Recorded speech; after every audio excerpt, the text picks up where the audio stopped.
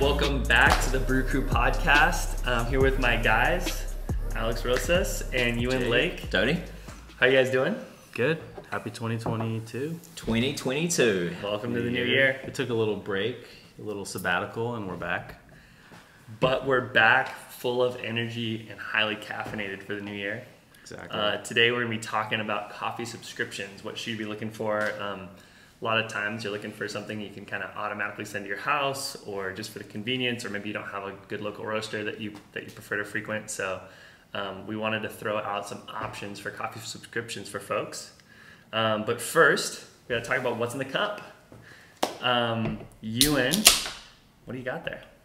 This is a uh, Luminous Coffee does a I'm trying to remember what they're called. They do like Uh, mo- mocktails, yeah, mocktails. and this is a soda, right? like flavored soda. Yeah. Coffee, coffee soda. With coffee. Yeah. Uh huh. Um, so I had had a bunch of them, and uh, they've been great. This one's uh, I have no idea what yuzu juice is. Yuzu. Yuzu yuzu juice, vanilla pods, vanilla extract, brewed arabica, hibiscus boot water. sounds like it could be a So- tasting note tastes like taste of yuzu juice Yeah. They do. Hold that up close for audio on the pour, please. A, uh, coffee drinking ASMR. Yeah. That's good. It's good stuff. It kind of tastes like, you know, like when you get to the inside of a Tootsie Roll pop. It's like a little bit of like the The, moment that the hard shell like meets the, the, like caramel. the sweet flavor, but then you get like chocolate. It's kind of nice. Yeah. What what a tasting note. The moment you get to the last lick of a Tootsie Roll. Yeah. What are you drinking, Dodie? Um, I'm drinking a washed Colombia, uh, brewed with a, a special process. Um, I'm gonna need some help explaining, but basically it's it's pulled on the decent as a two minute pour over, but in a portafilter. Yeah, we're trying a new profile on the Decent, which is the Filter 2.0. It's like a pour over option uh, using the Decent, so it's good. Nice. So we've Absolutely got delicious. then we've got some other coffees up here. You and you. Yeah, we did a, a friend and I did a quick trip down to Portland and uh, picked up some beans from Proud Mary while we're down there. The sweet as bag. So that was, so that was kind of cool. Very like sweet as brew. Australian Kiwi and the Daydreamer, which is a wash processed Colombia and a honey processed Colombia. So I've been drinking that this week. Quick note, quick note to our viewers: This is Ewan's first proper trip to Proud Mary. First Right. proper trip. I've been once before, and it was COVID restrictions, so it was only outdoor dining, and I didn't get the Didn't get the the- full Proud Mary experience. So this time I actually got got to go inside, and it was really cool. Huge bucket list item. Already checking them off. New Year's resolutions. Got any? Maybe it's to get a new coffee subscription. We're gonna start with Trade Coffee, I believe. Yeah. So we kind of. I mean, there's a lot of subscriptions, right? So we were kind of like, what are the top ones? Which one do we use? Which Jake will talk about. That's like kind of our bias. Um, and then yeah, like what are they all about? So trade. So the idea of the subscription is they send you coffee on a rotating basis. Usually these are kind of on whatever schedule you want. Um, so trade coffee. Have you guys tried trade? I've never tried it actually. I've tried it, Um, loved it, came quickly. Roast date was fresh. Yeah. All the, all my boxes were checked. A couple of years for Christmas gifts, people have given me like a trade subscription gift card. Uh, so I've ordered a few times for that. Yeah. So I've never done trade. I've known people that have done it. Heard good things. They have a pretty decent kind of offering of roasters, right? So I think probably the thing that we look for in a subscription is what maybe ease of use, but then also do they have good coffee offerings? Like, you know, is it gonna be Tony's coffee or is it gonna be, you know, something really good like Huck or Dune or something like that? So uh, trade has a lot of good options. From what I can tell, you can do it like by the bag or you can do it in bulk, so you can order multiple bags at a time. Several bags at a time. Um, there's kind of like two options you can usually do with this with the subscription. One, you can have them surprise you. So if you really don't even know where to start, like people will ask me like, "Hey, what bag should I get?" Like you know, you have a reference, but if you don't, you're kind of just like, "What do I get?" So these so these companies will essentially pick for you. And Um, most of the time, you can have like a Yeah. configure type option, right? Where you choose, Mm-hmm. I like either this kind of flavor, or if they know things like if you're doing espresso or pour over, and they'll customize the kinds of bags that they send you, right? Right. Yeah. Um, and then in terms of, so this is where it gets a little bit tricky. So obviously it's a subscription, so it's like usually you have to pay monthly for something like that. Um, what I've noticed is with trade, so like if I'm just looking at their kind of checkout page, you can kind of pick your frequency, how many bags do you want, um, but then you're gonna pay per shipment, which is like if you do a single bag, it's gonna be a little bit higher of a price. Whereas if they're saying, hey, you can do a three bag bundle and you'll save fifteen dollars off of that, um, you're essentially kind of paying up front for three deliveries. So they kind of like that's kind of, that's kind of their model is they lock you into you know X amount of bags and they kind of tease you with like the price. So you know trade trade trade is like it's kind of it's kind of like the standard that I think a lot of people use and know about, and I think that's it's not bad. I just went on here and I selected you know light roast surprise me. I want something wild, and it gave me a Ethiopia Sidama Ardi, which looks like maybe a natural by Equator Coffee. Um, great bag. Yeah, looks like a cool bag. You know, I, I, I do see Equator. I feel like they're a little bit more mainstream. I've never really had them. Maybe that's just my perception of them. But yeah, I mean, trade's great. You can't go wrong with it. Go for the bundle deal. Throw the extra bags in the freezer. So, quick pros and cons of trade. Uh, well established. bunch of people have, have Yeah. been using them. They're great. They seem like they have a really wide array of, like a wide selection of good roasters, right? Mm-hmm. It's quite a few. Yeah. Um, and easy. You know, you can you can like if you're having a party, you can order a three bag bundle and make a bunch of coffee for people. Right, so you could change how much you need on a regular basis. Yeah. Yeah. So that's trade. Pretty straightforward. The other one I'll talk about is beans with a Z. Um, now these guys, to my knowledge, are this is Breville, which everyone knows Breville USA. You know the the the espresso machine we all start with. Um, so the cool thing about this, in in my opinion, I think these guys from a selection like absolutely crush it. Um, the things like so I'm looking at their their offerings page. They have AKA black and white, uh, Camber Brandywine. They have Onyx on here, Dune, Color Coffee, Huck. I mean, like you, it, all of the big names kind of in U.S. Coffee, Olympia Coffee, Methodical. I mean, they have them right. Would you They're say here. that it's the the pro user subscription for the starter pack user espresso machine, all in one company? Yeah, I, but I also think that so they're hitting in with like you know someone. I mean, I, I don't want to group any of these brands in with like lower quality or grade coffee, but like Cafe Ladro, eh, they're going to be a darker, medium kind of roast. It's not very experimental. Like a cup of coffee, that's what you can expect. But then if you go down More traditional roasters. yeah, more traditional roasters versus like Proud Mary is on here, which does stuff from traditional to super wild. So Yeah. you, you have a broad spectrum, and it'll it'll fit your need whatever you want, right? So I think from their offering, these guys like, in my opinion, I would I would do Beanz. Hmm. Awesome. However, the catch is when you go to check out, they you can buy a single bag, but you're essentially paying shipping on the single bag. So it's like if I just went to that company anyways. So if I went to Onyx and just bought a bag of Onyx from them, kind of the same price. So how they get around it is they say, oh, if you buy two bags, we'll send you two bags of coffee and it's free shipping. But then we get into the issue of now I have two bags of coffee, and the one bag isn't going to get used and it's going to go, well, stale because it's going to be a month later or you know three weeks later and it's three weeks off roast, which for some people might argue is fine, but in general you want as fresh the coffee as fresh as possible, right? So I think Beanz has so much potential, but they fall in that space of making you get two bags at a time. Right. So it's kind of like I wish they would make that a lot easier, but that that for me is kind of a deal breaker. So I'm like, eh, if I ever want to try those roasters, you know, I'll go one off and do like, you know, go to Proud Mary or order. So outside of ordering two bags or more for free shipping, do they also do a subscription option?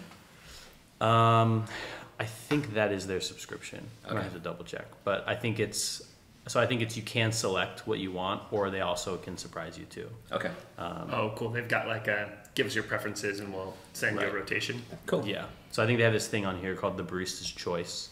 So you can go in and select, you know, what type of coffee do you prefer, how are you going to brew it, um, and then how many bags you want. So like if you just look on here, it says two bags is the minimum quantity, and it ships every one, two, three, four weeks. So if you get two bags every week, that's pretty crazy. I don't know anyone who goes through coffee that quick. So yeah, that's Beanz. If you're watching this, Beanz, change your model and you have me. so trade Beanz. I feel like the other approach is. I mean, you mentioned some already. Just ordering directly from a roaster that you really enjoy. There's a lot of amazing roasters. Obviously, too many to name, but some that we love. I mean, Proud Mary, Luminous. They Yep. also do a subscription option, which is cool. There's uh, Luna, which is based in uh, uh, British Columbia, Yep. Vancouver, Yeah, BC. Vancouver. Um, Onyx Coffee Lab, they, they roast amazing beans. I've often ordered a lot from them. They can Oh. also do a subscription option. So I guess other than using a, uh, what would you call it, provider or a service like Trade or Beanz, which source from a whole bunch of different roasters and you subscribe from them, the other approach would be working with an individual roaster that you really like and setting up a subscription option with them. Right. And in theory, I mean, I don't know the behind the scenes, but I imagine they're getting 100% of the profits, which, especially yeah, great way to support them. Mhm. Yeah, I mean, the other thought that I had around that too was um, like supporting a local cafe. We've got a really great cafe we love right around the corner, Five Stones. They Awesome. source great beans from great roasters, and Mm-hmm. so what a cool way to be able to go and buy directly from them to support your local cafe. If you have a good specialty cafe close to where you live, Yeah. that's Right. great. So I guess the like the pros and cons on that. I've we've got a, a close friend that uh, sets up a subscription with Onyx Coffee Lab, for example. He gets the the pro for him is that it's exactly the same bean every week or every month, however often he orders, and he just likes the same beans every time, and he doesn't have to worry about changing his grind setting and dial yeah, dials in the grind. different kinds of beans. Perfect. Yeah. so that's that's super easy for them. I guess the downside is that then you don't get access to maybe as much as the variety of different kinds of beans from different roasters. Sure. Yeah. Because, you know, if you get new beans, then you have to redial it in, and then sometimes that can take a whole half bag, as we've talked about before. So, Yeah. yeah, the, the consistency is, is kind of is kind of nice. Um, but yeah, I mean, we I feel like we don't have a lot of shops like a over here Five Stones that do carry kind of rotating roasters in the area, so it is, does make it a little bit hard. So usually, but we do have a lot of local roasters in kind of the area, so it's like okay, I can go to them to get their bag, but a lot of these coffees that like Trade or Beanz offer are like, you know all around the country that are kind of like fun to try and just kind of broaden your your horizon, and you know it's fresh, and that's I think the big Yeah, that's the big thing that they're all kind of hitting on is like you know usually I think the way it works is you order, and then they send the order to let's say it's Onyx, they'll send it to Onyx, Onyx will roast and then ship to you, so it's not like they're sending the beans to a warehouse to get Yeah. stale and then it Double goes to double you. shipping it. Yeah. Yeah.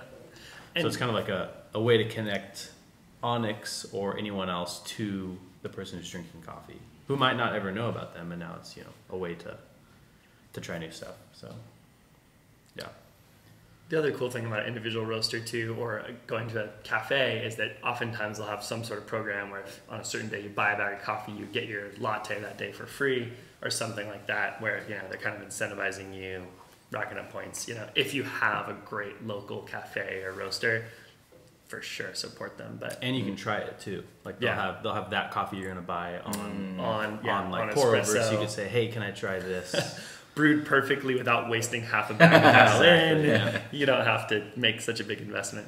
yeah, they have it all dialed in. So yeah, so that's those are all great options. I mean, at the end of the day, as long as you're getting coffee you like, and you know it's from a a company that relatively is is doing good things and like paying farmers decent wages, which you know like all these coffees we have on the table, we know that those companies do. Um, yeah. So what we're saying is don't buy Starbucks.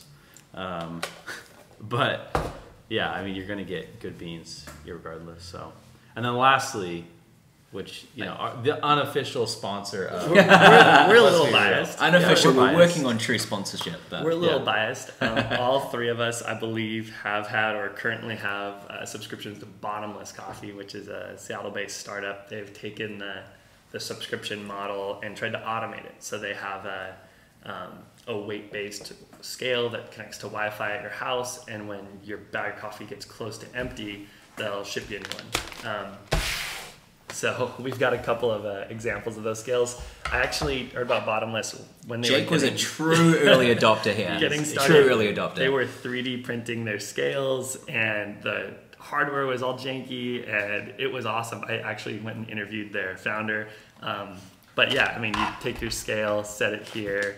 This is not the scale I use anymore. it's just a.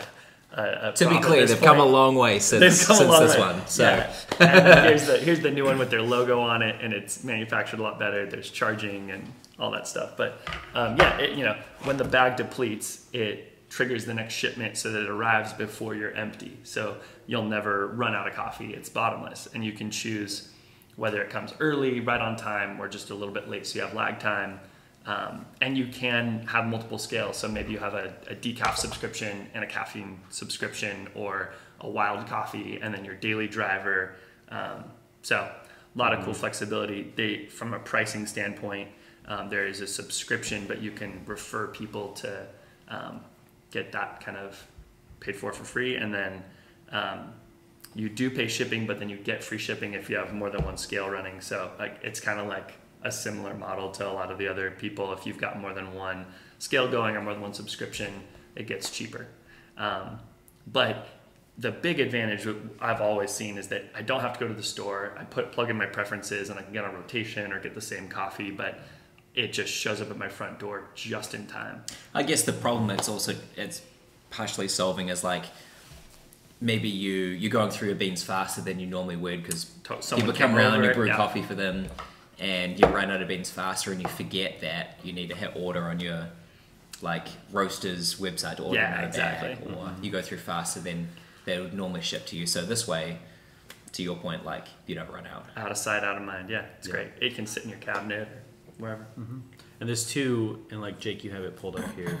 I think you you potentially do it different than I do. So, um, so Uh, so Jake, you have what? You set your preferences, right? And then I've- they kind of surprise you every time. Yeah, so I've set I want to order from Olympia Coffee and I, a single origin subscription, um, and so they'll send me a different single origin every time. So I do dial in, but usually it's close to the same range because it is a single origin coffee. So if I'm jumping from like a Colombia to an Ethiopia or something, it's a bit of a big jump on the grinder, but um, not not too terrible. Yeah, it's right. great. So then what I do is I actually will handpick every coffee that I get, which they actually added in a new feature for custom rotation. So I can add in, hey, these are the next three coffees I want to try. Cool. Um, Was that something they added recently? Yeah, it just came out like, Like a Spotify Yeah, queue, you like a Spotify let's queue. Get the, let's get the let's get the playlist jumping. yeah. So so that's what I do. So I usually will, and it's cool. You can filter all the roasters that they have. You can filter for you know region, origin. So you can actually go in and handpick. Okay, I you know I know Olympia Coffee is coming out with this new coffee that I want to try, so I can go and add that to my queue. Um, so I kind of like to take that approach, just so that I I don't know. I guess I'm picky and really specific on what I want to try. So I like that ability that they give me this whole catalog of coffee to pick from, and I can go and just add it to to what I have next. So I think right now I have that was just shipped Olympia coffee. It's like an anaerobic Colombia. So pretty pumped to try that, and that should be that should be good. But I mean, their roaster offering is it's not as stacked as Beanz. I will say that, but they do have a lot of I mean local roasters because we're from you know Seattle area, so they have Olympia coffee, Camber. The other part Um, that I feel like works so well with this as well is you get access to all those different roasters and you can kind of choose based on your preference. But aside from the small monthly subscription, a few dollars a month or whichever, mm-hmm. it's not much, then you get free shipping for any of the bags that you order, right? Right. So like you're getting one bag at a time based on when it's going to run out, mm-hmm. but you get free shipping no matter which roaster you're working with versus having to pay shipping if you pay individual orders with a Right. Right. Which is, you know, I feel like if I look here, like, you know, two to three bags a month, that's 10 $15 that you're saving in shipping. So, For sure. Sure. Yeah. Shipping's can be expensive. I feel like the only challenge with this, I'd love to get, I don't know, I think it, it works super well for you guys. I used Bottomless for a while. Big fan of them. I think they're doing awesome stuff. The challenge for me specifically was how it fit in with my workflow. So, because I enjoy trying different beans, and also my wife only drinks decaf, so I'm changing between decaf beans and regular beans, which means I find single dosing or weighing out my beans for each individual uh, you know, grinder extraction that I do to be the best workflow for me so I can change beans really easily. But that kind of has a challenge with the bottomless approach because the idea is that you put your bag back on the scale. Right. Um, so I kind of ran into a bit of a challenge with that. There were some ways around it of just like putting my single The Weber stack. works the whole platform on there and loading it up with Right, like putting my single doses on top of the scale. Because you essentially take this bag and you dose, you know, what, 250 grams into individual containers, similar to if you were to pour it all out in the hopper.